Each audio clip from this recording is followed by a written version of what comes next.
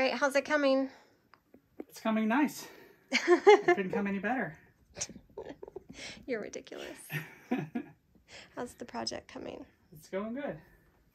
Just So, gotta get some railing tops on there and kind of tie this into this post to add some stability and decorative appeal and and the railing will be done.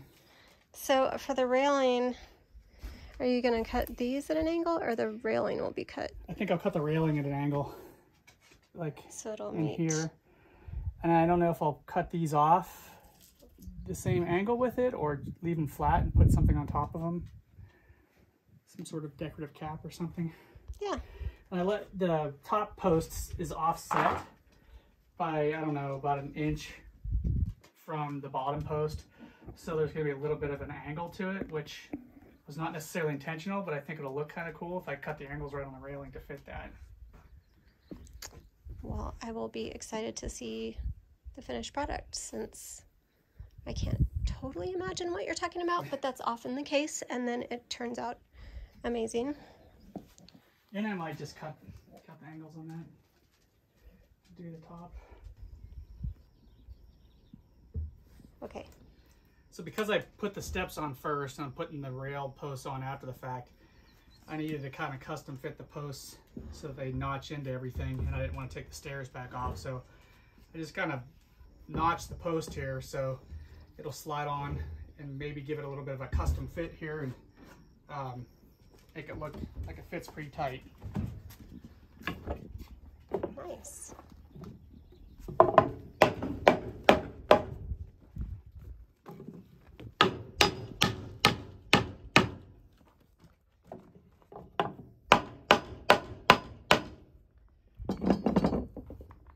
All right, I run some screws in from the outside. I think that'll be pretty good. All right. So this is today's project is getting the railing on our new stairs. And Ryan went in and if you saw the video from the other day, or reel, there was still an opening all along here. So he got enough boards to go back and put facings on each step. So now there's no opening and it just looks like a solid staircase. It is stair stringers. How many did we use? Five.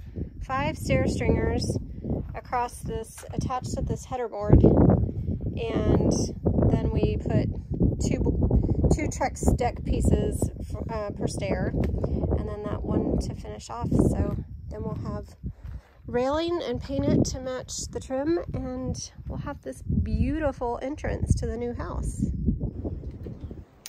so I have been in training class and I came out and uh, the railings are done.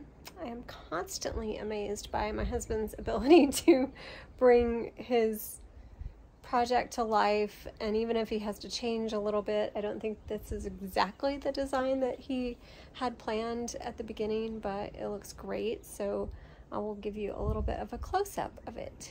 What do you think, Cookie? Does it look amazing? This grand staircase to walk up and down like the princess that you are. Oh yes, going to up dog for us. So of course the wind picked up right when I started.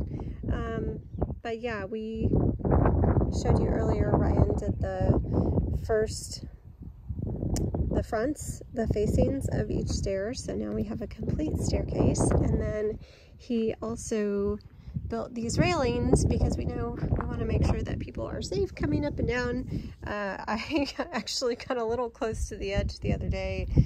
I also fell off the first steps, so yeah. Apparently I'm going to be the one who needs them the most. But I love what he did up top. He wanted to, we had to work with the edge of the stairs here, and so he created this little piece that spans the gap between the columns and the railing because it didn't quite meet. This was a very interesting opening. It's nine foot opening and most boards come eight feet or you have to get larger ones and cut them down. So we used eight foot boards and that meant that we had about a six inch span. So just like he showed where he notched out these columns, then that is connected to the house column by this piece right here. And then we'll figure out what kind of railing we're going to use, kind of as spindles. We used rope over on the tiny house and might do something like that, but I don't know, with the aesthetic and the rebar that's here, we might figure out something that looks a little bit more like that, maybe cable or just other wood. So I'm excited by the finished product. It all looks so good and sure beats the rickety staircase that they gave us um, at the dealership, which was nice. At least we had a way to get to the house. But I'm so impressed by this big grand entrance. And then the other staircase is now at the back door.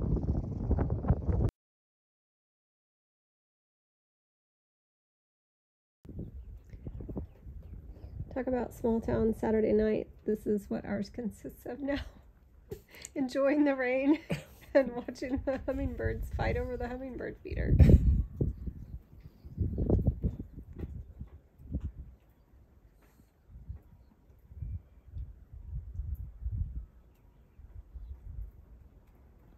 Oh, yeah, that one's a nice long drink.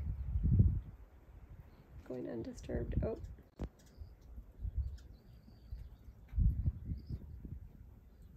They're they're gonna team up. Oh, Ooh, they hit him.